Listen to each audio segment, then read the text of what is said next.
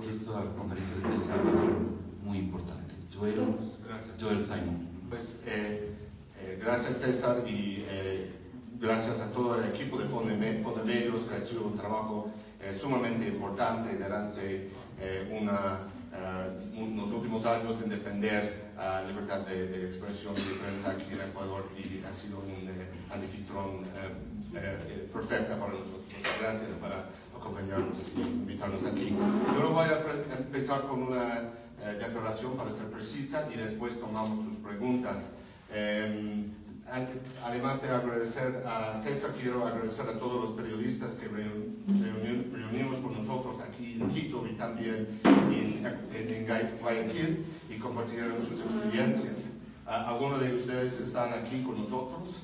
Eh, pero lo puedo resumir que en, los últimos, eh, dec- en la última década los periodistas en Ecuador, vivió un, un periodo oscuro. El presidente Corea arrepintió contra los medios de comunicación y regularmente insultó a los periodistas que- que- que- que criticaron su desempeño. Esta retórica dañó la confianza del público en los medios y hizo parte de un esfuerzo concertado para de- deslegitimizar y debilitar, el papel de la, de la sociedad ecu- ecuatoriana de los medios. Los, los motivos de Corea ahora se, se han quedado claros. Su gobierno también se dedicaba a la corrupción masiva que pre- pretendió encubrir y ahora los medios están informando. La retórica antimedios de Corea también proporcionó cobertura política para reformas legales que transformaran a Ecuador en uno de los ambientes más represi- represivos para los medios en toda América Latina. Si la base filosófica de ese so- salto legal er- era la reforma constitucional que definió la información como un servicio público, entonces el instrumento de control fue la ley orgánica de comunicación, también conocido como la ley Mordaza. En virtud de sus disposiciones, periodistas y medios de comunicación sufrieron acoso constante y la posibilidad de multas paralizantes por no publicar propaganda gubernamental o participar en un crimen inventado que es el linchamiento mediático. La agencia de administración de esta ley, la Supercom, actuó como juez y parte. Durante la última década, el CPJ ha enviado varias misiones aquí a Ecuador y ha producido una serie de informes que denuncian este registro de represión. Desafiamos al gobierno de Corea en el ámbito, ámbito internacional. Luego, en el mayo de- del año pasado, un nuevo gobierno dirigido por el presidente Lenin Moreno fue elegido. El nuevo presidente prometió la tolerancia, el diálogo y el respeto para el trabajo de la prensa. Hemos llegado entonces a esta delegación para visitar Ecuador y entender esta nueva realidad. Quiero presentar ahora los miembros de esta delegación. Eh, a, mi, a mi izquierda es Ricardo Uceda, él es director de IPIS, una organización basada en Lima que defiende a la libertad de, de prensa en Perú, pero también en América Latina. Es periodista también de- de- muy destacado en muchos años.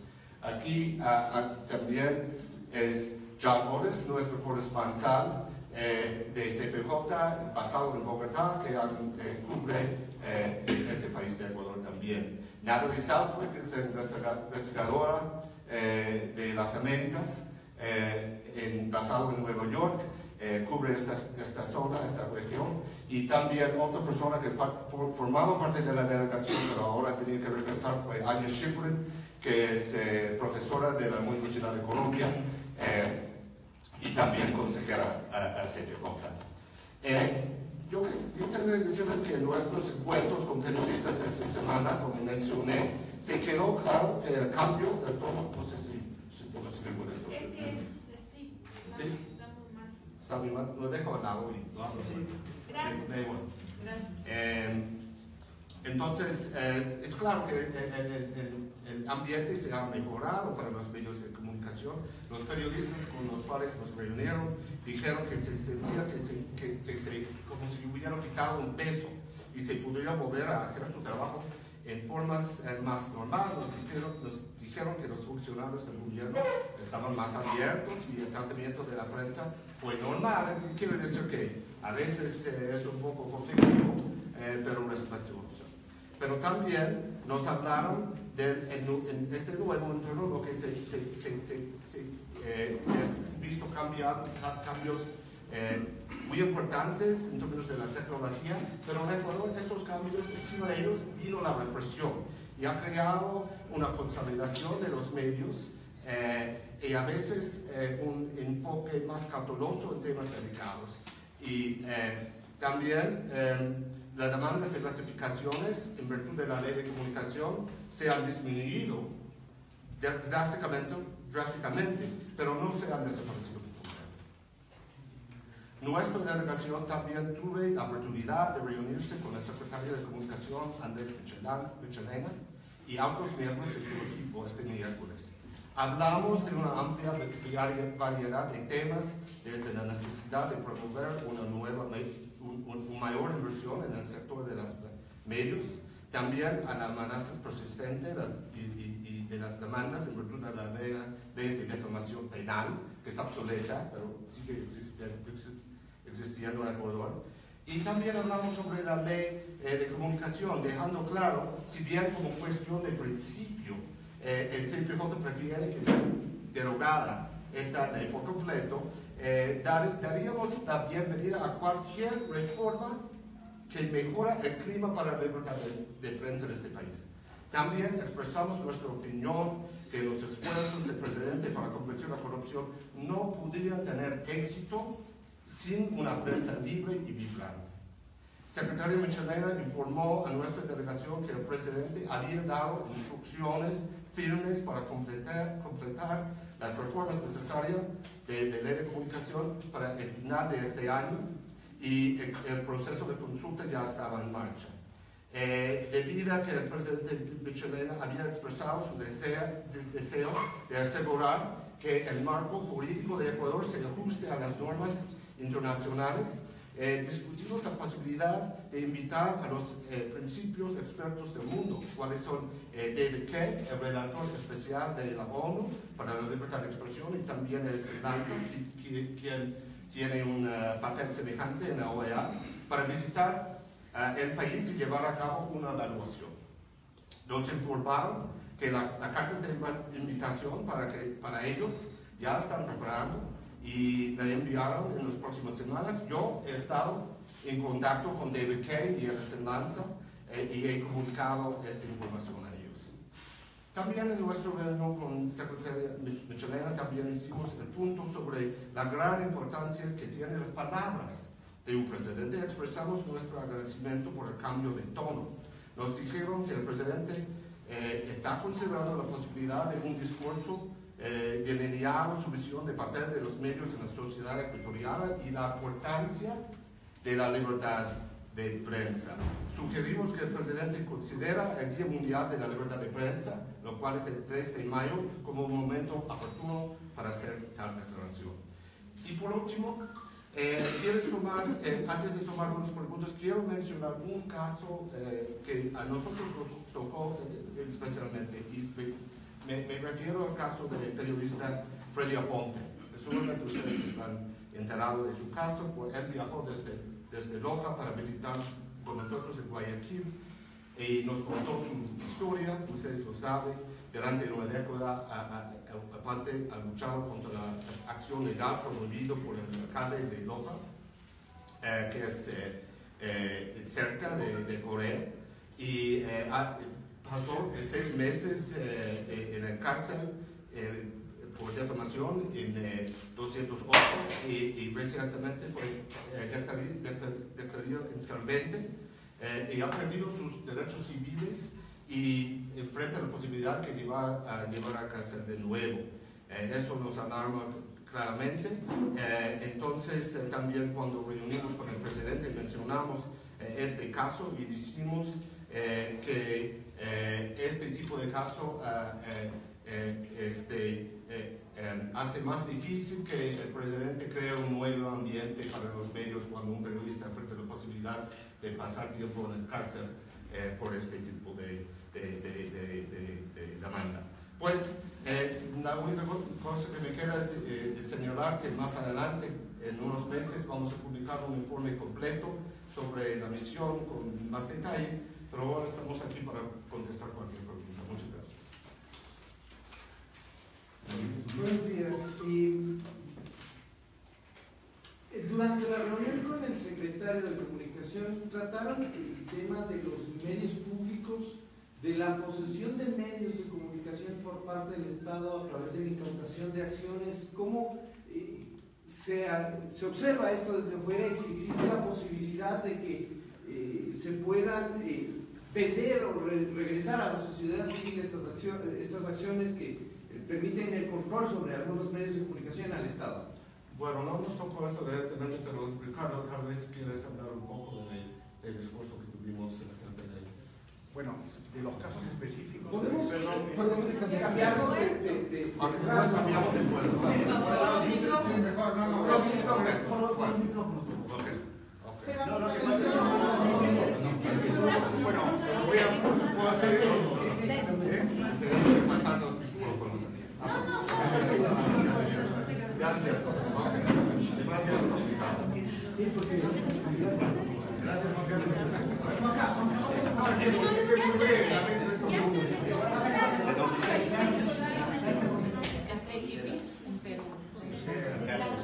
Soy Ricardo Uceda, eh, director del Instituto con base en Lima y integro la delegación del CPJ esta conferencia de prensa. Eh, no hemos hablado sobre los casos específicos de incautación que usted habla. Eh, la verdad, entonces no, no tenemos información nueva. Lo que sí es importante es que nos anunció que el gobierno está con la idea, incluso preparando un proyecto para que haya medios realmente públicos en el Ecuador, es decir, que los medios que estén en, en el Estado, digamos, sean, tengan un gobierno independiente, o sea, que puedan informar, que tengan consejos independientes, eh, lo que se con- con- conoce como medios públicos y no estatales o de gobierno. Eso fue. Sobre el tema de la ley de comunicación, nos, nos contaba usted que el secretario de Comunicación habló de que para fin de año habría Sí. la reforma. Tal vez se hablaron de los temas que se deberían reformar, los temas de mayor preocupación. Pues eh, nosotros mencionamos varios artículos eh, que para nosotros son especialmente eh, preocupantes, por ejemplo, eh, eh, el linch- linchamiento eh, me- mediático, que es como, como dije, mi esfuerzo eh, eh, es un crimen inventado, no existe. Eh, también el uso de la rectificación y las demandas, que es... Compañeros. Disculpe. No, es que, eh, que ha sido eh, un, un, eh, instrumento de seguimiento de, de los medios. Pero bueno, yo, yo creo que este tipo de diálogo se pertenece más bien a la sociedad ecuatoriana, a, lo- a los periodistas aquí, a los representantes de la sociedad civil. eh, y, y entonces no, no nos metimos en una forma muy detallada. eh, no creo que no es eh, papel para nosotros. eh, eh, es una legislación nacional eh, al final de todo. Nosotros estamos más bien aquí para informar sobre principios y el principio de esta ley no conforme a, a las normas internacionales y eh, eh, ha sido un instrumento de, de- de represión aquí en Ecuador. Sí, solamente anotar que nos parece sumamente importante esta ratificación del secretario nacional de comunicación y entiendo que también del presidente de Cordicón, con quien también se reunieron eh, los eh, miembros de la delegación de- del CPJ, de que la reforma de la ley de comunicación tiene que cumplir los estándares internacionales. Está destinada a eso, a que el mínimo sea el cumplimiento de esas normas, de esos tratados y de esos estándares internacionales. Y, al respecto, como bien señala Joel, eh, nos hemos estado reuniendo como grupo democrático por las reformas de la LOC, con, eh, igual con el secretario de Comunicación y también con el, eh, con el presidente y con el eh, equipo técnico de la Cordicón. Se ha constituido ya una metodología, mesas de, de trabajo y se está avanzando eh, en, las- en la construcción de ese proyecto de ley reformatorio a la ley de comunicación. Actualmente en el Congreso sabemos que existen en la Asamblea Nacional Existen eh, muchos proyectos, nos han dicho que 14 proyectos de reforma a la, a la ley de comunicación, pero entendemos que el proyecto que envíe el Ejecutivo va a ser el que en definitiva eh, sea el que la Asamblea Nacional, la comisión respectiva, no sabemos si todavía va a ser eh, la comis una comisión especial o va a ser la misma comisión de derechos colectivos, pero será eh, el proyecto que sea considerado finalmente por la Asamblea. Señor Simon, esto va a ser señor Simon, por favor, ustedes eh, eh, de, su- de la experiencia o de los recorridos que han hecho por otros países, ¿existe en alguno de estos una ley de comunicación? ¿Cómo ven ustedes que en Ecuador se esté ya tramitando esta ley de comunicación? ¿Es posible que esta ley de comunicación también sirva como ejemplo para que otros países también puedan implementar? Pues yo, yo, yo no puedo decir definitivamente. Hay muchas leyes de comunicación en muchos países. Yo eso lo puedo hacer. De, de- de medios, más bien. Pero, pero lo, que, lo que pasa es que eh, en, en términos de algunos eh, artículos de la ley en Ecuador, ha sido únicas. Por ejemplo, eso del lichamiento mediático es, como dije, inventado. La forma en que utiliza la rectificación, es, no, no, no he dicho, no he visto eso en ninguna otra parte. Pues en nuestro, nuestro juicio no debe haber un, un ley de medios, no debe haber un, un ley de comunicación. La, libre, la prensa es meramente una expresión de la libre expresión, lo, lo cual está consagrado a toda persona. Entonces, no sé por qué lo necesita. Pero bueno, hay muchos eh, países que lo tienen, eh, al mínimo eh, debe confirmar, conformar con las normas internacionales y eso es lo que hemos dicho y, y- y- y vamos a apoyar. Y en comparación con los otros países, perdón, en comparación con los otros países, el, el caso de Ecuador es tan grave como ustedes lo Está, están está pintando? grave. Yo, yo diría, bueno, eh, hay muchos países en América Latina que están viviendo una crisis eh, eh, de, de- de libertad de prensa. No se puede comparar lo, lo que, lo que está pasando en Venezuela o niveles de violencia en, en, en México, por ejemplo. Eh, pero lo que se puede decir es que tienen un gobierno eh, elegido democráticamente que impulsó todo un régimen represivo y que era, era única y en este ambiente Ecuador fue uno de los eh, países más represivos en América Latina durante los últimos 10 años. Eso lo puedo afirmar. César, ¿qué tan prudente sería escoger a un nuevo titular de la el, antes de que esta ley se proceda? También se dice que se debería eliminar esa institución. ¿no? Exactamente, una de las eh, reformas principales a la ley de comunicación es eliminar el régimen de sanciones de la ley de comunicación. La, ley no debería contener eh, este tipo de sanciones porque ya existen eh, normas o normativas en el Código Penal y en el Código Civil. Lo que hemos pedido como grupo democrático por las reformas a la LOC es que no se nombre un nuevo superintendente, que el presidente se abstenga de enviar ternas para elegir este cargo, eh, porque finalmente eh, hay un consenso, creo que de absolutamente todos los sectores, eh, medios comunitarios, medios privados, el grupo democrático, etcétera, etcétera, de que la Supercom tiene que ser eliminada. Definitivamente esa va a ser, yo entiendo, una de las, reformas que va a contener esta, la, reforma a la ley de comunicación. Cuanto a la profesionalización, ¿qué piensa eh, usted, y como director de Medios, usted, señor Simon, respecto a la profesionalización? Hay un proyecto de ley que está enviado a la Asamblea, uno de los que se envió, que menciona que no debe eh, haber profesionalización de la prensa. Sin embargo, acá en la ley de comunicación, las personas que teníamos título, los que teníamos título, los que no tenían, hicieron la carrera, hicieron una inversión económica y en algún proyecto de ley se dice que no se necesita la profesionalización. ¿Cuál es su opinión? Pues eh, la, la- la Corte Interamericana se, se ha decidido sobre este asunto. El periodismo es una, es una función del derecho de libertad de expresión. Cualquier persona, no importa si tiene educación, licencia ni nada, tiene derecho de informar sobre sus opiniones, puede ser por medios. Yo diría que es más, más bien una política de la empresa. Si quieren solamente eh, eh, buscar personas formadas que tienen esta experiencia, pues es, normal, pues se puede, se puede decidir que buscan a las personas más preparadas, pero como norma eh, legal, yo creo que se puede usar en muchas ocasiones. Yo, yo, yo, yo no quiero un esquema en lo cual el gobierno o, o- o- o el Poder Judicial decide quién es periodista y quién no, quién tiene derecho a informar y quién no. Eso es un esquema que lo puedo abusar. Entonces yo creo que es muy normal que entre los medios, entre los gremios, se habla de eso, pero yo no creo, yo no creo que el gobierno mismo, por medio de las, eh, las leyes, se debe, se debe tener, tiene espacio en este debate. Más allá de... ¿Y usted qué piensa? Perdón. Ah, perdón, César. Eh, nuestra posición eh, es que eh, efectivamente hay un, un estándar internacional que es que no se debe exigir título y colegiatura y menos colegiatura para ejercer actividades relacionadas a este derecho humano fundamental que es la libertad de expresión. Ahora, eso no significa que estemos en contra de la profesionalización, como lo ha dicho Joel, como fundamentos eh, hemos empujado procesos de calidad en periodismo, capacitación, hemos eh, brindado muchas oportunidades a, cientos de periodistas en realidad a lo largo y ancho de todo el país. Creemos que se tienen que construir mejores profesionales del periodismo, pero que se convierta en una limitación a cargo del Estado, que se convierta en una eh, en un obstáculo para ejercer este derecho humano fundamental, el tener título o no, eso es algo que me parece que no debe estar en una ley.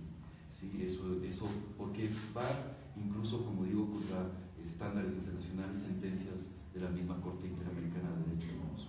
Y además si estamos pidiendo que el gobierno cumpla con los estándares internacionales en términos de, eh, de, eh, eh, de comunicación o cualquier esquema jurídica que se, que se tiene aquí en Ecuador, pues es también un estándar internacional que la cole- colegiación obli- obligatoria viola la- la- el derecho a la libertad de expresión. Señor Simon, eh, a manera de conclusión, luego de escuchar a los periodistas y luego de escuchar al gobierno, ¿con qué sabor se va Sí. luego de haber cumplido con esta Bueno, bueno yo, yo, yo creo que son, son tres cosas. Primero, se ha cambiado el clima para el periodismo en Ecuador. Eso es una muy buena noticia en el momento que hay pocas buenas noticias acerca de libertad de, de prensa alrededor del mundo. Se ha cambiado el clima para el periodismo.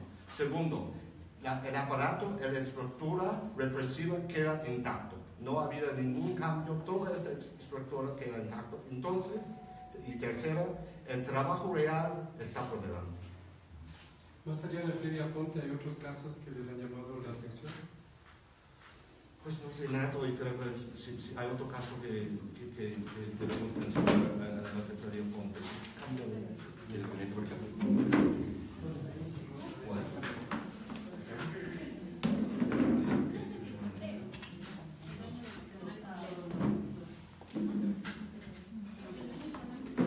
Pues obviamente puede ser más fácil para conocer eso, para nosotros es uno de los más en este momento porque sigue después de una década, o sea que ese periodista ha pasado mucho y eso es un buen ejemplo de, del peligro de que se- estas estructuras siguen intactas, ¿no? Porque a pesar del cambio de, de tono, a pesar del cambio de, eh, de la retórica por parte del, del mismo señor presidente, de los funcionarios, esa posibilidad de utilizar esas leyes, esas normas, sigue vigente.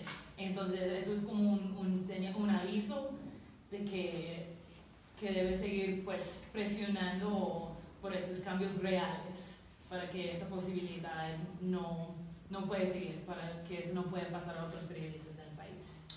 Ricardo, Ricardo quiere añadir algo más. No, yo, yo más bien quería eh, invitar a Jan, que ha estado un poco más tiempo que yo en la misión, porque hay testimonios de periodistas de cómo ellos se sienten aún después de la ley y cuál es el, el trabajo ahora, pese que no hay ley y.